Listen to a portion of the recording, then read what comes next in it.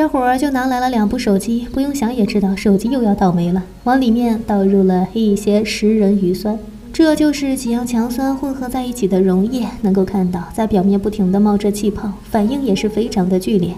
等实验结束后，发现手机也受到了一些损伤。接下来又产生了一个想法，准备了大量的火柴，都放在了这一个铁盘子里。接下来就把硫酸给倒了上去。没想到火柴一下子就燃烧了起来，这看起来也是有些不可思议。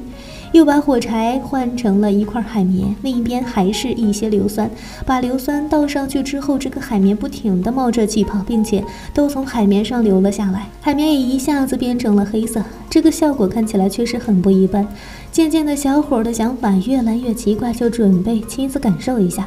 这一次直接就准备了一些纯硫酸，看起来和酱油一样。首先在里面放了一些物品作为比较。就这样在里面泡了一段时间，等拿出来的时候，发现表面都已经被腐蚀掉了。然后拿出来，在苏打水里面清洗干净，这样看的就非常的清楚了。就算是这样，小伙还是把手指头放了进去，紧接着就在水里洗干净了。